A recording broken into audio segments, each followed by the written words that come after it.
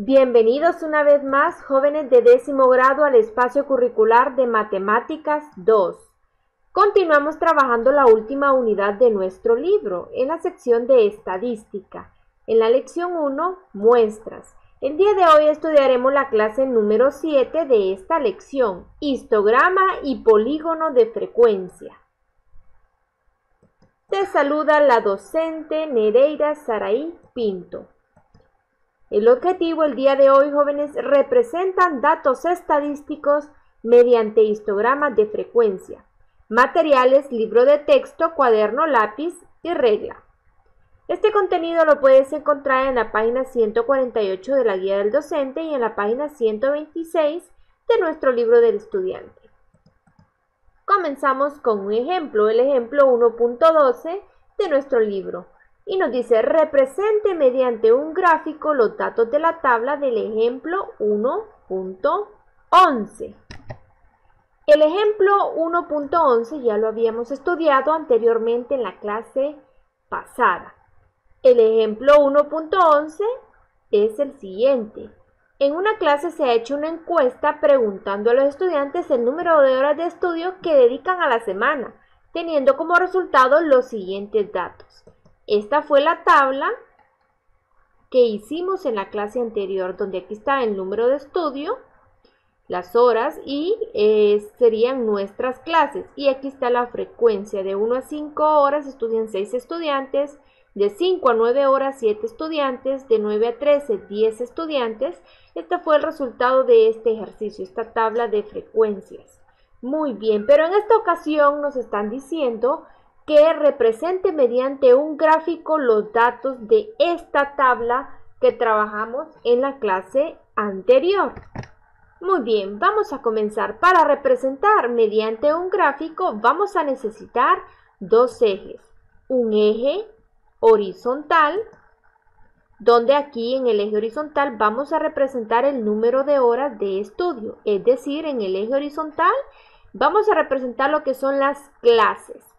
Muy bien, y un eje vertical. En el eje vertical vamos a representar el número de estudiantes, que vendría a ser nuestra frecuencia. Comenzamos a colocar los números en el eje horizontal. Si te fijas en el eje horizontal, vamos a colocar las clases. ¿Cuáles serían los números? Aquí iría 0, luego ocupamos el número 5, luego vendría el número 9, ¿Cuál sería el otro número que necesitamos? Muy bien, el número 13. Luego ocuparíamos el número 17 y por último el número 21. Siempre tomando en cuenta que con nuestra regla vamos a dejar la misma distancia. Muy bien, una vez ya tenemos los datos en el eje horizontal, pasamos a nuestro eje vertical. En el eje vertical, repito, vamos a ocupar lo que son la frecuencia, ¿cuáles son los números que ocupamos? Lo empezamos desde el 2. Así que podemos tomar una escala de 2 en 2. Por ejemplo, aquí yo he tomado 2, 0, perdón, 2, 4, 6, 8, 10 y 12. teniendo siempre el mismo cuidado con nuestra regla, que tengan la misma distancia o la misma medida. Muy bien, vamos a representar esta primera clase, que sería de 1 a 5. Muy bien, de 1 a 5 hay 6 estudiantes. Vamos a subir hasta 6. Y esta barra me va a representar este primer dato de esta primera fila. Luego sería en la siguiente clase de 5 a 9. No vamos a dejar espacio. De 5 a 9 tengo que llegar hasta 7. Muy bien, aquí está aproximadamente hasta 7, llegando a la mitad entre 6 y 8. La siguiente clase sería de 9 a 13, que es este espacio que tenemos aquí. De 9 a 13 tengo que subir hasta donde está 10. Muy bien. Aquí está en gris este gráfico. Luego la siguiente clase de 13 a 17, que voy a llegar hasta donde está aproximadamente el número 5, que sería aquí a la mitad entre 4 y 6. Y por último, de 17 a 21 voy a llegar hasta donde está el número 2. Excelente. Y este sería nuestro resultado final donde podemos colocar un título a este gráfico que hemos obtenido, donde le he colocado horas de estudio a la semana. Muy bien, fíjense que en este gráfico, a diferencia de otros gráficos, por ejemplo el gráfico de barras, eh, este gráfico no dejamos espacio, todas las barras van juntas. Muy bien. A este tipo de gráfico se le llama histograma de frecuencias. Con todo esto que hemos estudiado anteriormente, podemos estudiar esta definición.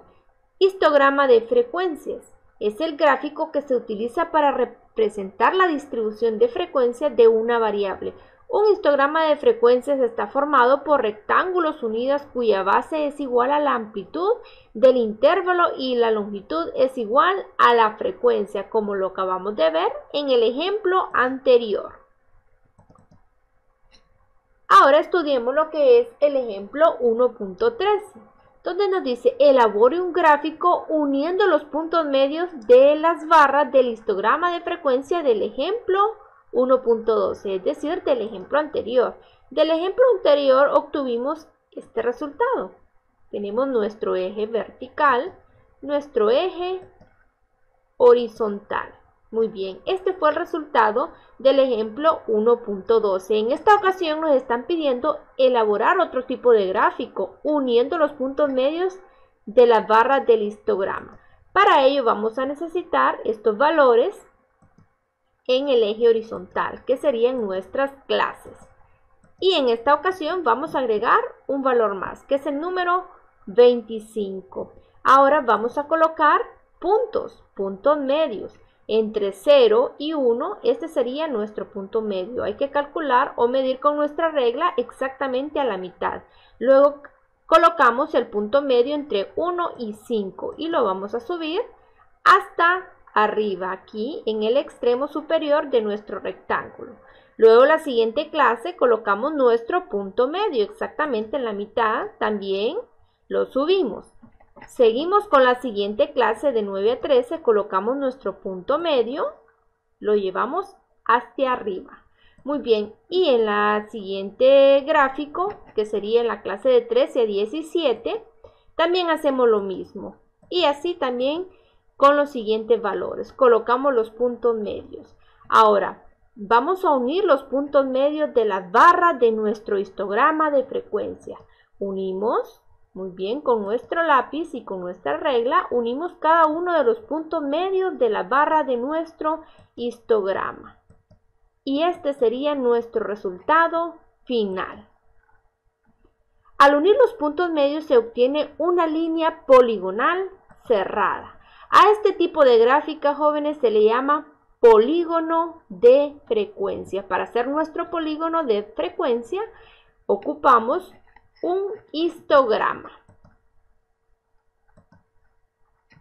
Y vamos a estudiar la definición 1.9, que se trata acerca de polígono de frecuencias, que es un gráfico utilizado para representar una distribución de frecuencia de una variable. Este se puede trazar a partir del histograma de frecuencias tomando el punto medio. Como les decía, necesitamos tener nuestro histograma para poder graficar nuestro polígono de frecuencias, que sería esta línea rojas, que sería un polígono eh, de frecuencias eh, y esto lo vamos a seguir estudiando con una pequeña tarea que ustedes van a realizar desde su casa, que es el ejercicio 1.5, donde nos dicen que un hospital toma el peso en libras a 45 niños entre 0 y 2 años. Y los resultados fueron los siguientes, nos dan nuestros datos Recuerden, hay que ordenar los datos de manera ascendente, construir una tabla de frecuencias. Aquí ya nos dan las clases que vamos a utilizar en nuestra tabla de frecuencia. Luego elaboramos el histograma y el polígono de frecuencias. Y en base a los resultados vamos a contestar las siguientes tres preguntas. Recuerden que siempre los esperamos en las clases de Matemática 2 correspondiente al décimo grado. Nos vemos en la próxima.